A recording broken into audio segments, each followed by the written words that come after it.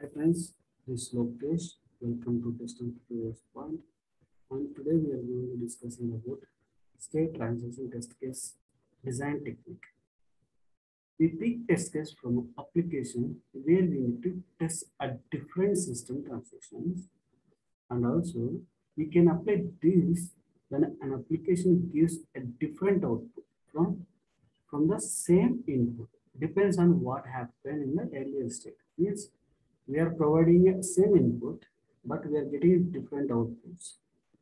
And also we are going to check what happened earlier statements depends upon our given input from the same, same inputs we are providing every time, but it is given different different. And we are going to check what happened previous execution and what happening current execution. In these two comparison we are going to do and we are going to provide some result we are going to get some result for that particular test case.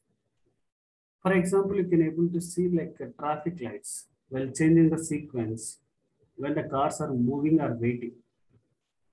We can able to say like there are middle of the four circle, there is a traffic light is there, four directions, and it will display each time on different different signals.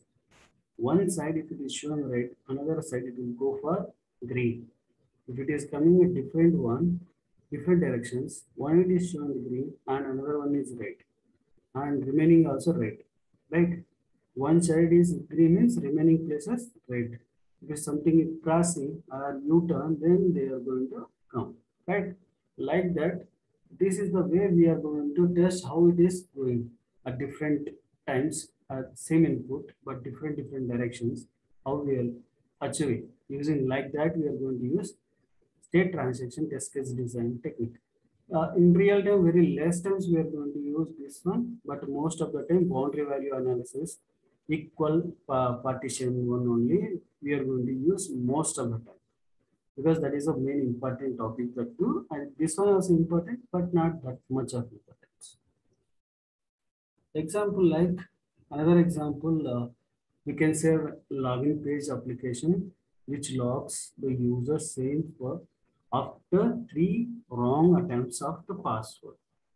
Means you can able to see bank uh, login or else in company login, login pages. Any page, if you are providing three times a wrong password, it should gives you like a, a locked. Your account is locked. You have to reset the password or can raise a complaint to get the new password like that, right? First time you use home page, it will come. Second time you use the wrong password, it will gives, it will not give anything, and but it will say like try one more. How many times are pending? And third time you tried, you've given a wrong password, then it will go for pay. And it gives a lock your password. This case is simple. A state I mentioned here login how many times correct time what exactly we are going to get the password uh, ui and incorrect time what we are going to get output first time we tried that is pass to case and it will goes for home page and again first time we are giving a wrong password. It will go for second incorrect. Okay. Second time we tried. Third one it will gives and it's a fail incorrect password. And you're going to try third time. That is a main one. Then it will show like account is locked. Second time third one it will display. Means first time you given correct password correct username then it will give fourth one like home page and again one more time the first time again you tried again you tried with incorrect password. Then first attempt, like this one, it will goes a top place.